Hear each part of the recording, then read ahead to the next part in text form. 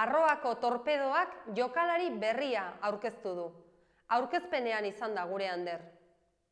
Kaixo bakarne, kaixo ikusentzule guztiok. Arroako torpedoak jokalari berria fitxatu du.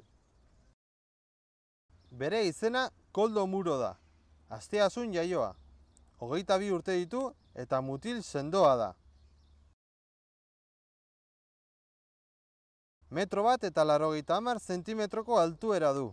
Larogeita hamabos kilo pixatzen ditu. Atzeko lerroan jolasten du. Defentsa lanetarako fitxatu dute. Oso azkarra da, eta baloia oinetan duela oso trebea. Buruz ere erabaki horra da.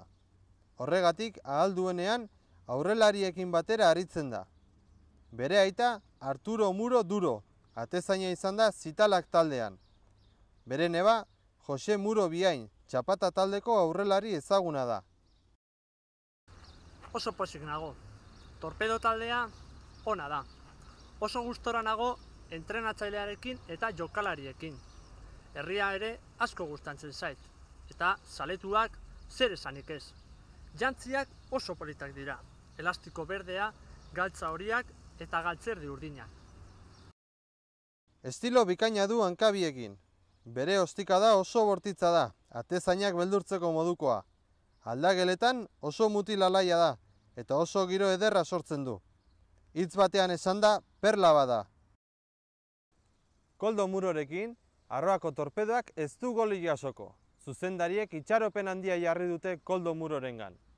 Arroako torpedoa taldearen zelaitik, Ander Miru, Mirutegiaren zat.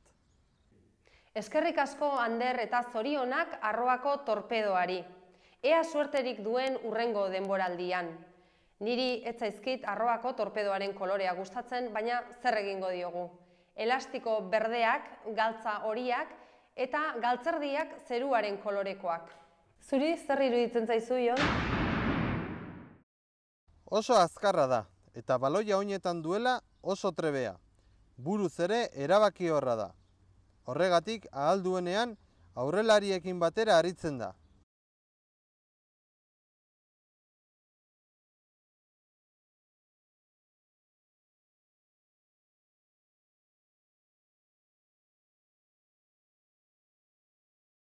Estilo bikaina du hankabiekin.